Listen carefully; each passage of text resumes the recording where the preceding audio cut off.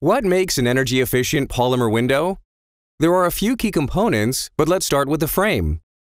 Window frames are made of polymer, also called UPVC. Windows last for around 50 years and can be recycled up to 7 times.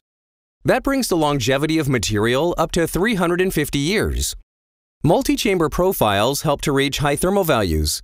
These chambers act as a thermal break and reduce conductivity, thus keeping comfortable temperature inside your home. Glass is a huge helper as well. Triple pane glass contains two low-E coatings that are located on the second and fifth surfaces of the glass unit. They minimize the amount of ultraviolet and infrared light that pass through the glass without compromising the amount of visible light that is transmitted.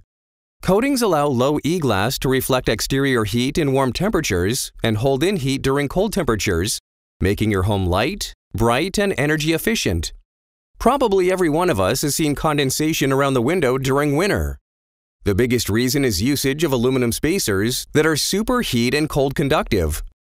Instead, high-performance windows use warm edge spacers. They consist of high-performance polymer with moisture-absorbent desiccant inside.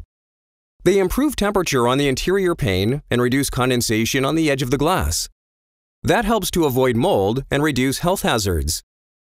Have you ever heard a phrase, leaking windows? That's what proper window gasketing helps to avoid.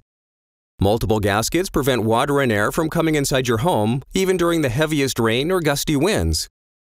Finally, all units are steel reinforced. That allows you to build large units in high-rise buildings, including window walls and storefronts. We just outlined major components that make up an energy-efficient polymer window. Thank you for watching.